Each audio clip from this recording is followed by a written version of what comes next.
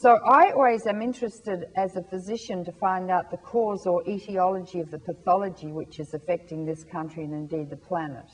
And it's very important to psychoanalyze the people who are running this country at the moment. And, you know, I can tell you a story about Cheney, and I don't know much about Rumsfeld, except that I am going to write a book soon called Why Men Kill, and I'm going to dedicate it to Donald Rumsfeld, who's going to have his picture on the frontispiece. Um, the book will be quite in-depth, looking at the sociobiology of human beings. You know, when we lived in caves, the men had to kill the saber-toothed tigers and to save us as we breastfed our babies in the caves. From a neurophysiological perspective, now that you know we understand more about the hormonal receptors in the brain, the female and male hormone, and what that does to our behaviour, um, the Jungian archetypal perspectives of how a society can be moved. And if you watch, and I want to try and psychoanalyze this one after 9-11 and just see how it just totally fell into line and was able to be manipulated and led by these people. And it's only just coming out of that anesthetic, really, to start to clearly look at the facts. So it's going to be an interesting book to write, but I'm only writing it as a physician trying to make the appropriate diagnosis. Because if we can't find the cause of a disease, we can't cure it. We couldn't cure poliomyelitis till we found the virus, and then we could immunize the children. So, and that would go, go for cancer now. You know, many cancers we can't cure because often we don't know what causes them.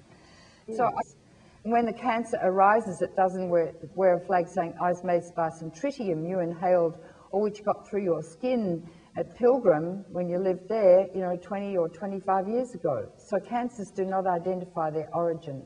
So how do we know that cancer is caused by radiation? Well, we've got a wonderful guinea pig population from Hiroshima and Nagasaki. They were never treated. They were part of what was called the Atomic Bomb Casualty Commission. They were studied, not treated. No medical insurance, nothing. And so from that data, we've watched the incidence of cancer, and different cancers have different incubation times. We're seeing now new cancers in that population of the renal tract and of the bone marrow. So we're learning, leukemia appeared five years after the bomb dropped, so we're learning more and more about cancer. Um, so what I wanted to do was bust the myth that is put out by the nuclear energy indus industry to the tune of $200 million a year of propaganda. And if you read Scientific American or look at the New Yorker, you will find ads saying that nuclear power is the answer for our el electricity needs and our children need it. Our children need it because they need their computers. You know, I, th I think sort of systematically and generically, you know, Mozart wrote by candlelight. So did Shakespeare. For three million years, the human race has lived without electricity. So why suddenly is it so imperative that we have it? Well, we've gotten used to it. And now everything you get has to be plugged in. Even I bought a digital camera the other day, and to my horror, I realized it has to be plugged into the juice to be charged up. That not like an ordinary camera where you click it and then you get the film developed. So I've become more and more conscious of how and why we use electricity. Now, nuclear power creates global warming gases. Well, why? Well, you have to create the fuel. How do you fuel a nuclear reactor? You have to dig up uranium. How do I know that? Because in Australia we've got we've got 40% of the world's richest uranium. So you have to dig up the uranium and you use what to dig up uranium? What? Oil. Then you have to crush the uranium. Use oil to crush the uranium, you know, or petrol. You call it gasoline. Then you have to enrich the uranium, and I won't go into it, but it's all described in this book, which you're all going to get a copy of at the end, and I'll sign it for you. To enrich uranium at Paducah, Kentucky, where most of the Western world's uranium is enriched, they use two huge coal-fired plants to generate the electricity. What does that do?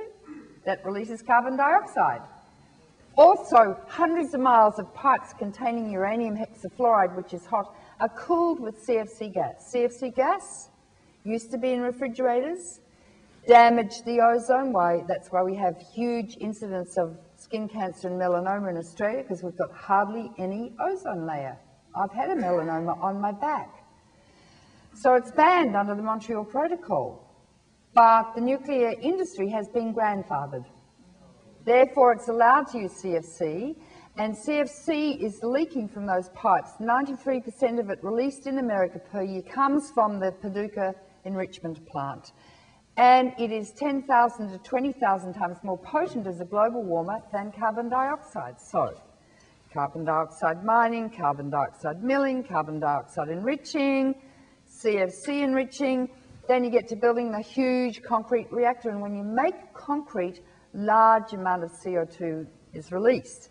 Now, if you just take the front end of the fuel chain, excluding decommissioning the radioactive mausoleum by remote control and robots, because it's so hot you can't get near it, and transporting and storing the radioactive waste for the next half a million years. Exclude that part, do the front part. At the moment, a nuclear power plant releases 30% of the amount, the CO2 released by a similar sized gas fire plant.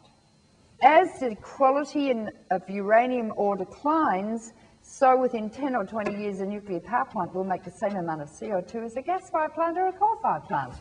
I rest my case. And what I don't like is scientists lying. If we lie in medicine, we get struck off the register. It's inappropriate to lie. I don't believe in freedom of speech when it comes to Rush Limbaugh, because he lies to an ignorant population. We can't afford that now. The earth is in the intensive care unit with an acute clinical emergency. Our children have no future. 10 years, 20 years? What's going to happen? Oceans rising 20 feet? 100 million refugees escaping as New York drowns and Bangladesh disappears under the waves? And Anopheles mosquitoes breeding in their trillions in Seattle, causing epidemics of malaria that we've never seen before. Species dying at huge numbers. That's her future. And people say to me, you know, they say, well, it's up to the children, they've got to fix it. I find that so incredibly, intensely egocentric and selfish. I mean, how do we have children if we don't make sure they've got a safe future? So, a part of being a grandparent and a parent or even a human being is to make sure our children survive. And I'm not talking about our children, I'm talking about the next seven generation hence or the next hundred generations hence.